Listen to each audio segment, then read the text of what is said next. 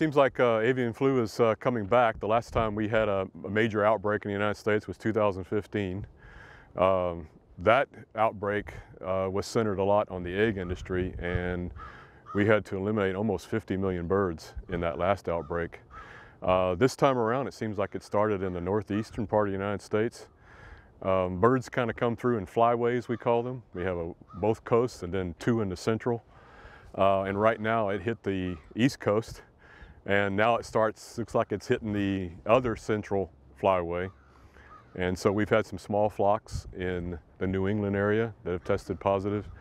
Um, we've also had some commercial flocks in North Carolina that have tested positive, and now it seems like Indiana through Kentucky in both broilers and, and turkeys. Avian influenza is certainly reportable. Um, the thing that we're most concerned with uh, are in, around in this area is a lot of our small flocks, a lot of our game bird flocks.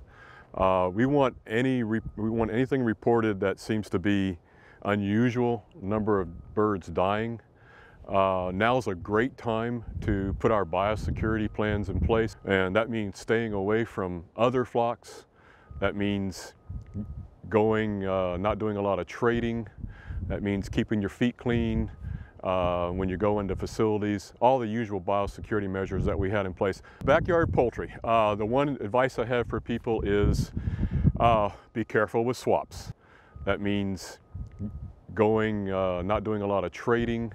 That's where disease comes in and out with a lot of these swaps. And unfortunately, this is spring when we want to do a lot of that.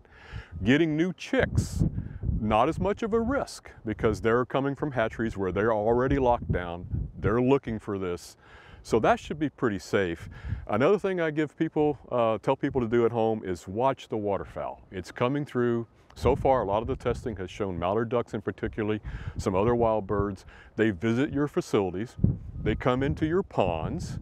If you have waterfowl, in your pond that stay around full time and then you have visiting waterfowl, that's the highest amount of risk you can take. Don't go out and walk around a farm pond that's got geese and ducks all around it and then walk back into your facilities. Don't ever do that. That's just a kind of a general practice you should always practice. Uh, be aware of wild birds. Keep feed uh, that's been spilled, keep that cleaned up. Maybe even only limit the amount of time that you allow your small flock to be fed so you're not attracting wild birds. This time of year, you know, wild birds are looking for food. And uh, these migratory birds uh, going north and south right now, uh, they're bringing it in, they're dropping it off to local birds. And so it's prudent. I mean, it's a, it's a big industry here in the United States. Uh, Kansas grows a heck of a lot of grain that goes into that industry. And and uh, we want to make sure that uh, you know that uh, that industry is protected.